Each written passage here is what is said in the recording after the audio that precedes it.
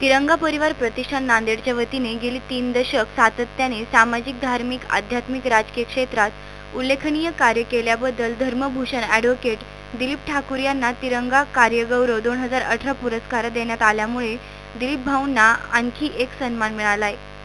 स्वातंत्र्य दिनानिमित्ताने कुसुम सभागृहात झालेल्या जश्न ए आझादी या सोहळ्यात पोलीस अधीक्षक संजय जाधव यांच्या हस्ते पुरस्कार देण्यात आला.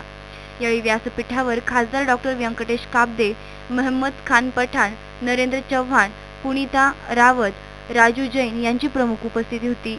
संयोजक मिर्झा फैयाज बेग यांनी प्रास्ताविकातून दिलीप ठाकूर यांच्या कार्याची माहिती देऊन पुरस्कार देण्यामागची भूमिका स्पष्ट केली.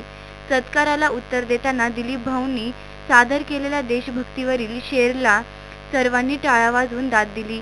दिलीप ठाकूर यांना यापूर्वी धर्मभूषण ही उपाधी शाने नांदेड पुरस्कार आदर्श शिवसैनिक पुरस्कार राजपूत भूषण पुरस्कार मा जिजाऊ रत्न पुरस्कार समाज विभूषण पुरस्कार छत्रपती सेवाभाई पुरस्कार मातोश्री गंगूताई पुरस्कार जीवन साधना पुरस्कार Bhagat Namdev life achievement award Annapurna प्रेरणारत्न पुरस्कार देऊन गौरविण्यात आले आहे. कार्यक्रमाचे सूत्रसंचालन प्राध्यापक विजयश्री पेंडकर यांनी अतिशय खुमासदार शैलीत केले. यावेळी ठाकूर परिवारातील यांच्यासह नांदेडकर रसिक मोठ्या संख्येने उपस्थित होते. आनंद पाटील व त्यांच्या सहकाऱ्यांनी गायलेल्या देशभक्ती गीतांनी कार्यक्रमाची सांगता झाली आहे प्रतिनिधी नरेश तृप्तेवारसह सुवर्णा ताकटे एस चोवीस तास नांदेड.